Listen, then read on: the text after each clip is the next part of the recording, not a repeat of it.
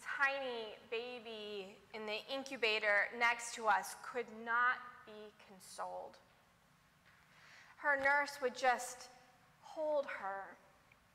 Her and I each rocking the tiniest of infants, hoping that our breath, our heartbeat, the warmth of our bodies, our attempt to meet their needs would be enough for them to grow and flourish now and in the future. The difference between that baby with her tiny wails and my own was that the other baby's mother had a substance use disorder. We shared a back room for a little while, a space reserved for more stable babies. And I had the opportunity to observe the compassion of the nurses as the family prepared for discharge. Not just instructions on how to change a diaper, to apply for disability and early intervention, but also where to go for help when things got overwhelming. We all hoped that this baby was the beginning of something new for the family. It's a reminder that, especially in the theological sense, comfort is not merely reassurance, but as Walt Brueggemann puts it, comfort is transformative solidarity a powerful intervention that creates new possibilities. God's comfort counters both contempt and hopelessness in favor of something expectant and flourishing. Last week, we read as the exiles had their first glimpse of the ruins of Jerusalem. We held the silence, the fractured timeline, clinging to the hope that this chasm would be mirrored by God's own broken, open heart. It was a long silence. The book of Isaiah has at least two, maybe even three narrators. The first 39 chapters are about the judgment and exile of Judah, the southern kingdom. And then chapters 40 to 55 are about the homecoming from that exile. These sections kind of mirror each other in themes exile and return, judgment and grace. But between the end of chapter 39 and the beginning of chapter 40, our first verse today, is a span of about 160 years. While Brueggemann notes that during that gap, a whole lot of stuff happens. The collapse of Assyria, who had conquered the northern kingdom of Israel, the rise of Babylon as the new superpower, that's the one who conquered the Assyrians and the southern kingdom of Judah, the death of the good king Josiah and the near anarchy brought about by his royal sons. Most important, however, in that in between time is the massive destruction of the entire Jerusalem establish, establishment city, dynasty, temple, and the complete infrastructure of that social and theological entity.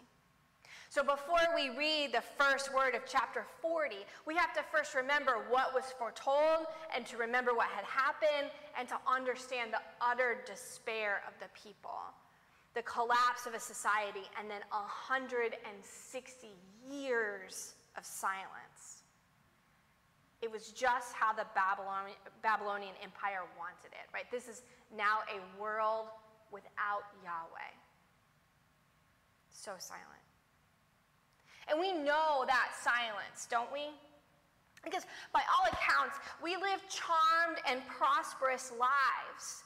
For most of us, were we to consult like Maslow's hierarchy of needs, we not only have our most basic needs met, but we're safe and secure, loved and welcomed, uh, respected and accepted for who we are.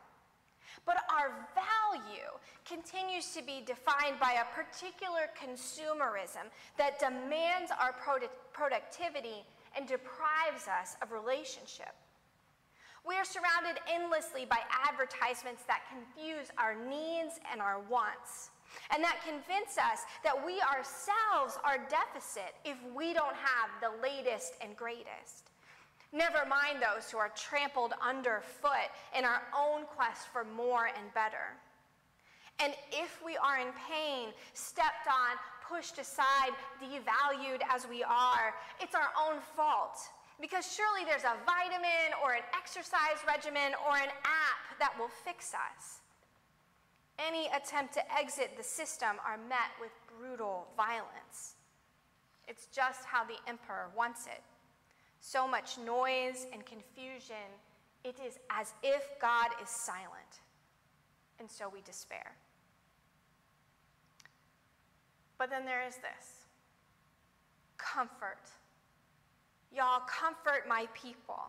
God speaks to the divine council about a policy change, a change, of course, a new story, not judgment, but grace, not separation, but return, not exile, but home. No wagging finger, but instead a comforting embrace. Not lacking, but flourishing. Not pride, but ministry. Not despair, but hope. 160 years of silence, but millennia of hope. Look, empire feeds us a steady diet of consumeristic ideology and then blames us for our stomach ache but God has the cure. For as Andy, or as theologian Andy Crouch puts it at the end of the, his book, The Life We're Looking For, there's another story playing itself out in our lives the story of love. And this story does not decay in the same way as the story of violence. It has extraordinary generative power. The most dramatic turning points in this story generate a capacity for love that can last for millennia. We, humanity, has been long in exile, enslaved in an empire of despair, but we are not without hope. There is, in fact, good news, beloved. And the good news is that God enters into our story not to judge, but to save. Jews and Christians interpret Isaiah's prophecies differently. Imagine that, that scripture can hold more than one idea or more than one theology. But for Christians, it's no small thing that John picks up the words from this particular passage in Isaiah to proclaim the coming of a God whose main mode of operation is solidarity. A God who becomes and lives among the poor, who suffers alongside the suffering. A God who understands all about the boots of the trampling warrior because this God has been trampled by them. And in this is a call for us too. After all, a voice says, cry out. And what shall we cry, beloved, if not alongside the tiny NICU baby and her mama? And what shall we cry, beloved, if not alongside those who have spent more time creating their personal brand than finding the persons who love them no matter what? What shall we cry, beloved, if not at the borders where those in search of comfort are turned away? What shall we cry if not alongside those buried under rubble? What shall we cry if not alongside those hated for their religion, their race, their culture? What shall we cry if not alongside those whose depression drowns out all other voices? What shall we cry, beloved, if not a tender word